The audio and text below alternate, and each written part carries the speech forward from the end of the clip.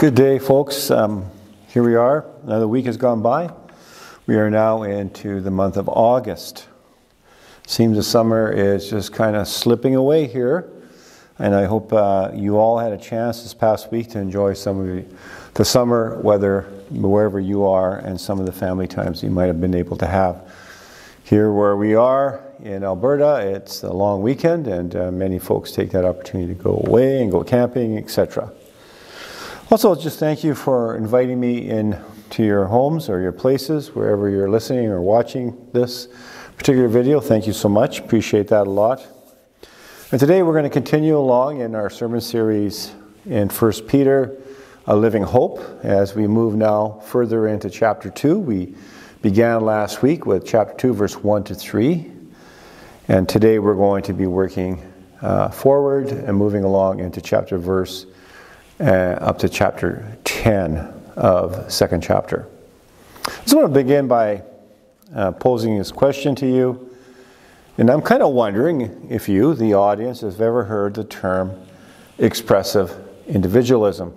You might have heard the term individualism, but have you ever heard this phrase together, expressive individualism? A fellow by the name of Trevin Wax, uh, writing for the Gospel Coalition, presented a eight-part expose on this particular topic, expressive individualism.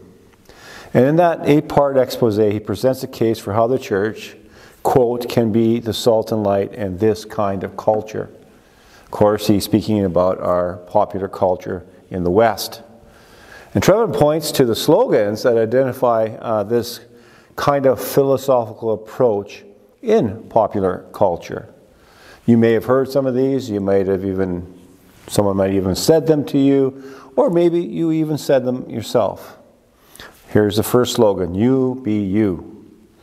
Or follow your heart, or be true to yourself, or find yourself.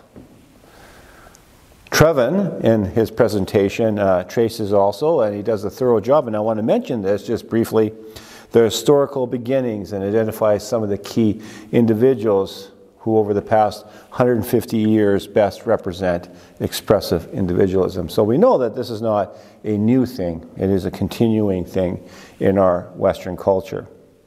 So we want to boil Trevin's presentation down to its core uh, regarding expressive individualism. It goes something like this The chief purpose is uh, to quote Trevin, quote, find one's deepest self and express that identity in ways that counter whatever family, friends, political affiliations, previous generations, or religious authorities might say. And in his uh, expose, he also highlights some authors, and one particular author is a fellow by the name of Mike, Sayers. I did not have a chance to uh, do any research on this individual, but he wrote a book uh, called Disappearing Church. And uh, Trevin highlights uh, seven beliefs that Sayer puts in this book in regards to expressive individualism in our culture, society. Now, with your permission, I've picked three of the seven uh, to give you some sort of a sample of Sayer's book. So, the first one, in our expressive individualism in the West, the highest good is, of course, individual freedom happiness, self definition, and self expression. Secondly, uh, traditions such and religions and received wisdom through the ages, rules and social ties that restrict an individual's freedoms or their happiness, um, their self definition, their self expression must be reshaped or deconstructed and even, if needed, destroyed.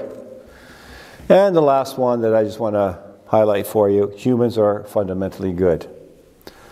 Well, this brings us to an important question, my friends. How does expressive individualism pose a threat for the church trying to remain faithful to the gospel of Jesus Christ? Time is, as usual, not on our side, so we'll just keep this very short and concise. Expressive individualism challenges the church according to Trevin, because the church proclaims a message that is radically God centered. That'd be his own words, and I would agree with that. That's biblically provable and it's evident in the scriptures. Whereas expressive individualism would have you and me um, look deep within ourselves, deep into our hearts, quote unquote. And there, when we discover our inner self, we express that to the culture privately and in the, pop, in, in the public square as well. And so I was pondering all this that I, I've shared with you and more. And I have this question that came in my mind. What does God think about this philosophy, this ideological approach of the inner self? Now, uh, this is not to say that we're not individuals, that God created us in His likeness and Im- image. No, that's not what it's talking about. It's talking about what we've coined here, or not coined, what we say here, in expressive individualism. So what does God think about that? Well, there's a lot of places we could go. But just give me, I'll just give you one example. We go to Jeremiah the prophet in the 17th chapter. And there, God, through his prophet, said, The heart is deceitful above all things and desperately sick. Who can understand it? Good question. And then God answers his own question I, Yahweh, search the heart and test the mind to give to every person according to their ways, according to the fruit of their deeds. Jeremiah chapter 17, 9 and 10.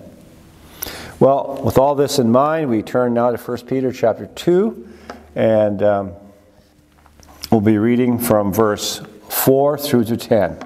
Verse 4 through to 10 together. Chapter 2, verse 4. As you come to him, a living stone rejected by men, but in the sight of God, chosen and precious, you yourselves, like living stones, are being built up as a spiritual house, to be a holy priesthood, to offer spiritual sacrifices acceptable to God through Jesus Christ.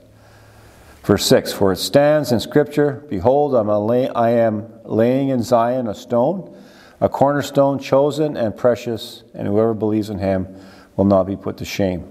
So the honor is for you who believe. But for those who do not believe, the stone that the builders rejected has become the cornerstone, and a stone of stumbling and a rock of offense. They stumble because they disobey the word as they were destined to do. Verse 9 But you are a chosen race, a royal priesthood, a holy nation, a people for his own possession, that you may proclaim the excellencies of him who called you out of darkness into his marvelous light. Once you were not a people, but now you are God's people. Once you had not received mercy, but now you have received mercy. The Lord bless the reading of His word. Let's pray together. Father, I thank you for your word.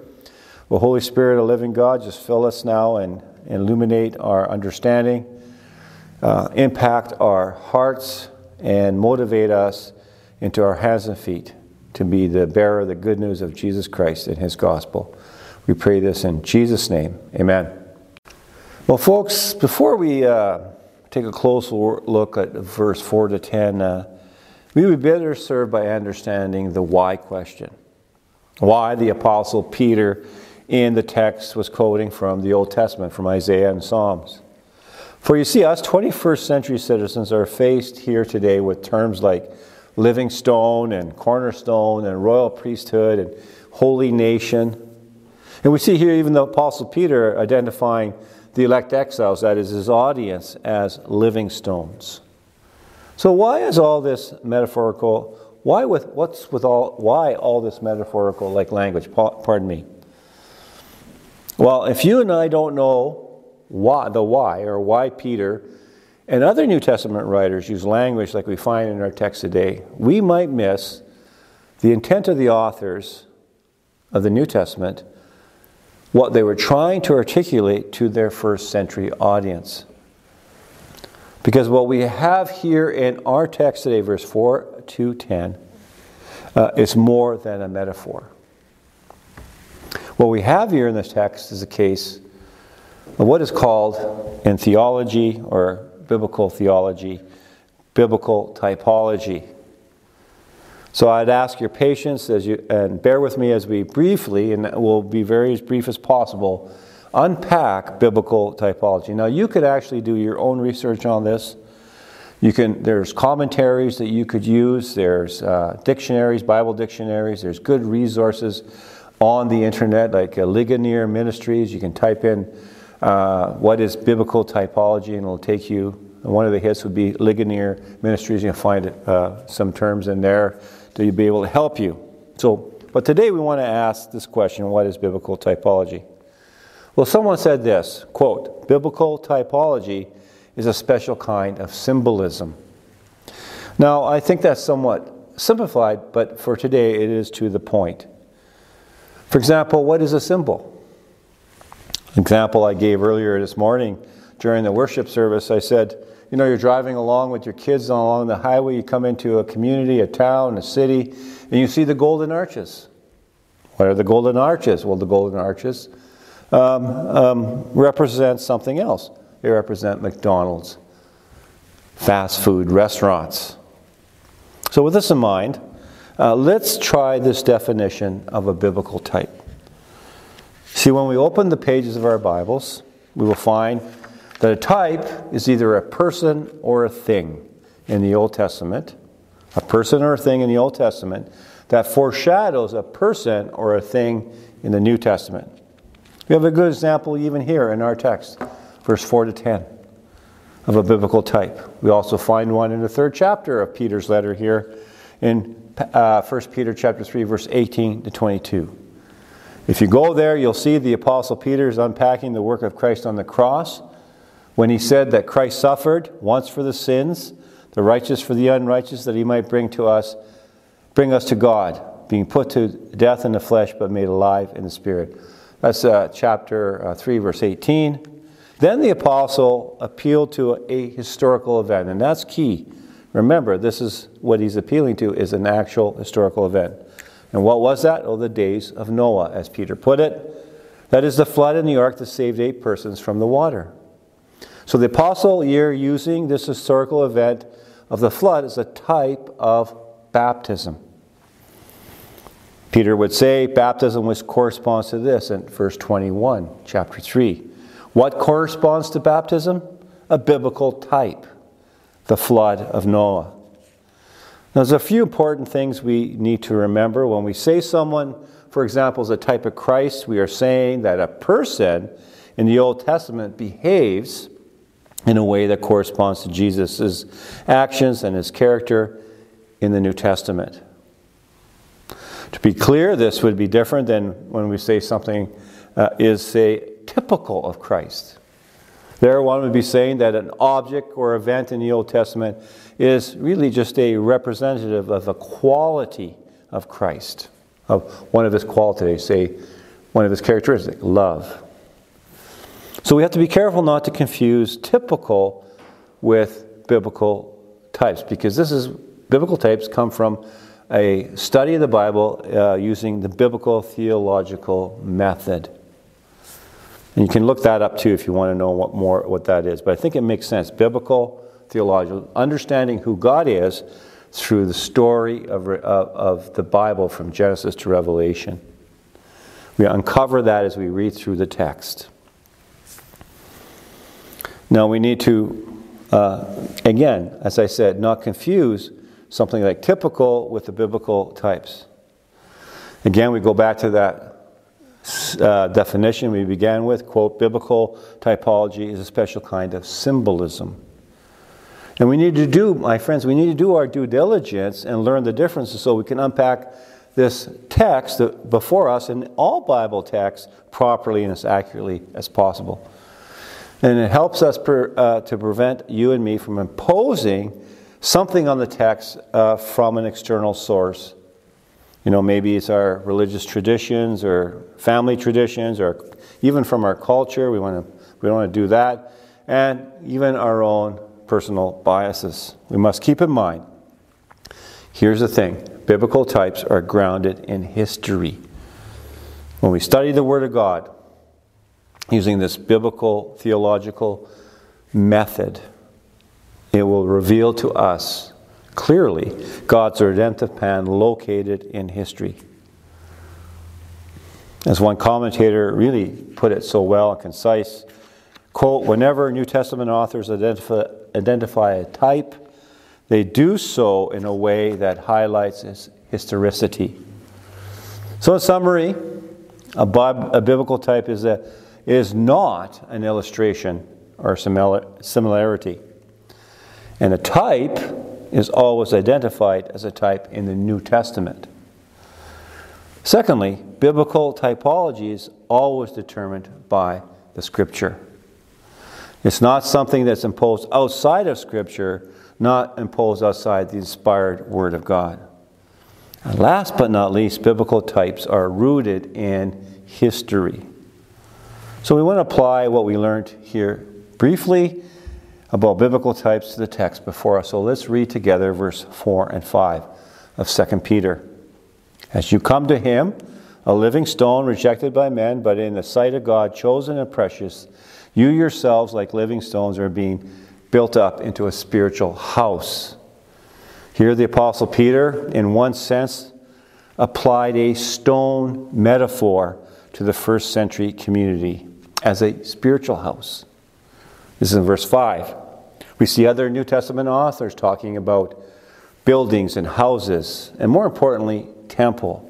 For example, Luke in Acts chapter 7, to share one there for you, Apostle Paul in a few of his letters, the writer of the letter to the Hebrews in chapter 3 of that letter, and the Apostle John also in Revelation 21, along with Apostle Peter here in our text, introducing God's people, the new community, the new covenant church, as a house, building, or a temple. That's an important, important thing to remember.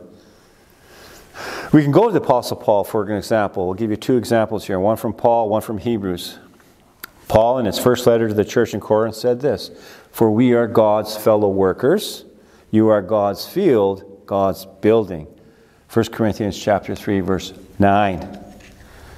And the other is from the letter to the Hebrews, and there the author in chapter 3 highlighting for his audience that Jesus is greater than Moses and said this Now Moses was faithful in all God's house as servant to testify to the things that were spoken later, but Christ is faithful over God's house as a son.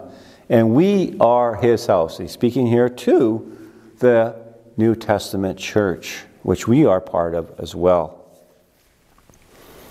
We can say that the Apostle Peter and these other New Testament authors highlight the idea of God's people as a house a building, or a temple.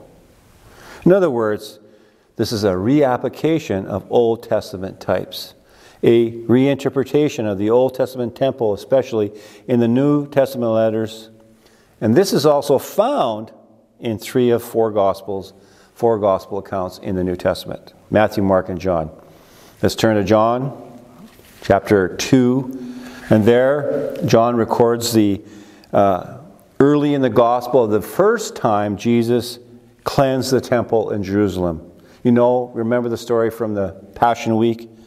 Same here. He drove out the money changers, the sheep and pigeon sellers. He scattered the coins and overturned the tables here early in his ministry. You find that in John chapter 2, verse 13 to 17. And of course, like the second time, Jesus is also challenged by the Jews to in this case to show them a sign for doing what he has done. And Jesus said to them, Destroy this temple, and in three days I will raise it up. John chapter 2, verse 19. We know they responded, It took 40 years to build this temple. But what was Jesus speaking of here? Jesus, like the New Testament authors, was using an Old Testament type and reapplying it to himself. For John the Apostle would say, but he was speaking about the temple of his body. When therefore he was raised from the dead, his disciples remembered that he had said this that destroy this temple, in three days I'll raise it up. And that then they believed the scriptures and the word that Jesus had spoken. John chapter 2, verse 21 and 22. So let's press pause for a moment and let's ask this other question. What are the implication of the apostle Peter's statement for the church in the first century and through the age up to our time here in the 21st century. century. Well, let's begin by reading verse 5 again together. Verse 5 of chapter 2. Let's read that together. You yourselves, like living stones, are being built up as a spiritual house, to be a holy priesthood, to offer spiritual sacrifices acceptable to God through Jesus Christ. That's verse 5. And now we can turn to another book, and this one in the Old Testament. In Exodus chapter 19, we see there God had delivered Israel from Egypt, and we find them they were camped before Mount, they were encamped before Mount Sinai. This is the wilderness area around Mount Sinai. Moses then went up the mountain to God, and we find in the text this The Lord called to him out of the mountain, saying to Moses, Tell the people of Israel, you yourselves have seen what I did to the Egyptians, and how I bore you on eagle's wings and brought you to myself. Now, therefore, if you will indeed obey my voice and keep my covenant, you shall be my treasured possession among all peoples. For all the earth is mine, and you shall be to me a kingdom of priests and a holy nations. Exodus chapter 19, verse 1 to 6. I just read a couple of verses out of that section. You know, it's really interesting here because it seems to me, and I hope it seems to you too, that Exodus provides the answer to our question. What are the implications of the Apostle Peter's statement here in verse 4 and 5? Let's remember, when we began this series, that we found that Peter's audience were dispersed throughout the Roman Empire, present day Turkey, facing, as Peter said in verse 6 of chapter 1, uh, various trials. They've been grieving the various trials they've gone through. You see, the believers were facing a variety of trials, as we learned from family and friends, from workmates, from the culture around them, from local governments, and we know sooner than later they would get the Roman Empire would be persecuting them as well with a little more viciousness. These first century followers of Christ trying to understand the ramification of their salvation in Christ. In a real way, if you think about it, attempting to find their identity now as God's people post Pentecost, the day the Holy Spirit came down on those initial 120 in the upper room. And Peter, his pastoral heart here, is trying to help the people by reinterpreting an Old Testament type. Peter and other New Testament, by the way, they're authorized to do this. They, they were made apostles by Jesus himself and inspired by the Holy Spirit to write the letter that we have before us. Peter and the other New Testament authors using a historical, factual historical event of God's people called in Exodus to be a kingdom of priests and a holy nation. And now this new covenant church is a spiritual house, a spiritual temple, we could say, verse 5. This new covenant church described by Peter here in verse 9 a chosen race, a royal priesthood, a holy nation, a people for his own possession. There we see the same language we found in Exodus chapter 19, reinterpreted to the New Testament church. So, as we move along here, we, we remind ourselves now, we were, we were challenged at the start as Trevin Wax unpacked for us, and we used that briefly, expressive individualism and how it's saturated the Western culture, where everything seems to be open to be challenged if it prevents a person from attaining uh, their so called true inner self.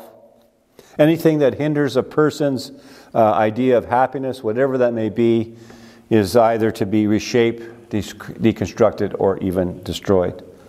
Now, we don't have time to see, too deep, time to dig too deep to see the consequences of what the Word of God calls sinful rebellion against a holy and just God in our culture. And I'm sure you can think of ways that you've seen that. You know, Wax was identifying that expressive individualism poses a problem to the church trying to remain faithful to the gospel of Jesus Christ. I think we can agree with Wax that that is an issue. But sadly, as you think about it, as I thought about it, individualism has also found its way into the body of Christ.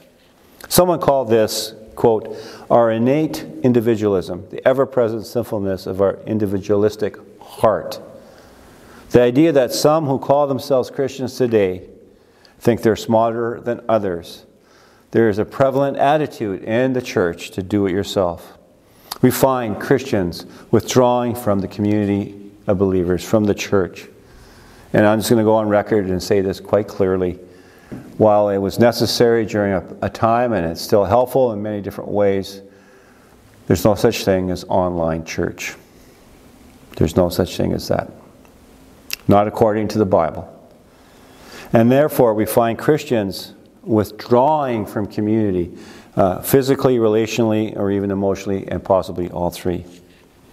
Yet here, the Apostle Peter, in his letter, stressing that the identity of the people of God, the church, is first and foremost what? Grounded in an historical event. He said that back in the first chapter, verse 3. What is this historical event? The resurrection of Jesus Christ from the dead. Their faith and trust in the resurrection of Christ have provided the church, as he tells us in verse 4 of chapter 1, an inheritance that is imperishable, undefiled, and kept in heaven for you. You see Peter's audience struggling to find their identity as the people of God in the midst of their trials. And you and me today, in the midst of our trials, as a community of believers, struggling with our own trials in a expressive, individualistic culture, we have a living hope that is imperishable, undefiled, and kept in heaven. A living hope because of an historic event the resurrection of Jesus Christ. And God, through His Son, Jesus Christ, calls the individual believer living stones the church is full of living stones.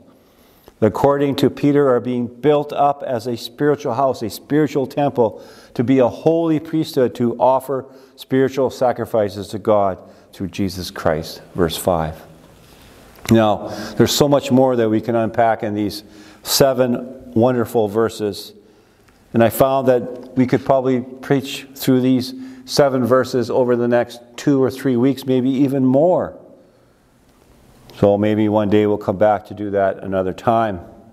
But with our remaining time, the next few minutes, we turn our attention to the Apostle Peter's use of the Old Testament Scripture. He begins verse 6 by saying, For it stands in Scripture. Here now, Peter appealing to the Bible, to the holy Word of God, the Old Testament. We see here the apostle quoting basically word for word, it seems, Isaiah 28 14 here in verse 6, Psalm 118, verse 22, verse 7, which is the most quoted Old Testament text in the New Testament as, as far as I understand, and Isaiah 8 14 and verse 8. I want us to focus on the term the cornerstone. Now we know that a cornerstone was used in the ancient Near East to hold together two walls. You have two walls, and you have the cornerstone holding those two walls together. It was a key stone, an essential stone for the structural integrity of a building. And now we see the Apostle Peter, inspired by the Holy Spirit, to select Old Testament scripture to reinterpret Old Testament types for the New Testament church. And as a cornerstone held two walls together, um,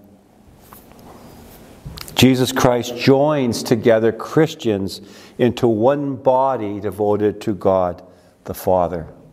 The Apostle Paul put it this way in his, second, in his letter to Ephesus For through him we both have access in one spirit to the Father. Through him, who? Jesus.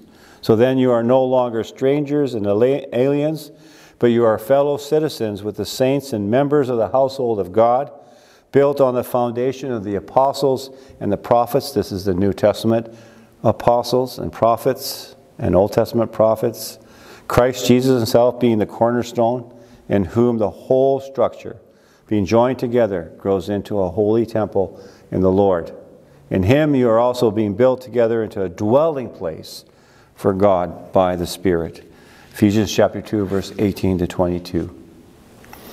The Bible says that each individual believer is a temple for the Holy Spirit. And together we are building, built up as the temple, uh, as the temple of uh, the household of God.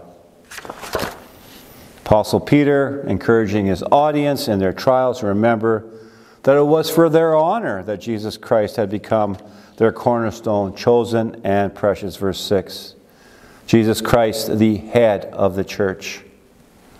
For they had believed in Christ, even though others did not believe. Verse 7. And we must mention just briefly, and for those who did not believe Christ, Christ becomes a stone of stumbling and a rock of offense. Verse 8. So when we consider the expressive individualism of our Western culture, passionately pursuing self, and we consider those who call themselves Christians yet pursue self, Apostle Peter could not be clearer as he inspired by the Holy Spirit concerning self seekers. He said they stumble because they disobey the word as they were destined to do. Verse 7. So, friends, this kind of wraps things up for me and for you. In conclusion, I want to leave the final word for the Apostle Peter for an encouragement to, to, to you today, whatever trial or tribulation, whatever issues you're facing in our expressive individualistic culture, as we stand and try to be faithful as best we can to the gospel of Jesus Christ, let the Apostle Peter's words remind you, remind you of the resurrection of Jesus Christ and what that has resulted in. Peter said, But you are a chosen race, a royal priesthood, a holy nation, a people for his own possession, that you may proclaim the excellencies of him who called you out of darkness into his marvelous light. Once you were not a people, but now you are God's people. Once you had not received mercy, but now you have received mercy. Let us pray. Thank you, Lord, for your word. Thank you, Lord, for this message. I pray it encourages this, those that are listening. Bless them, Lord, today. Watch over them, protect them from the schemes of the evil one. And may they walk from this message and give you all the glory as they share the good news of Christ. We pray this in Jesus' name. Amen. God bless. Shalom.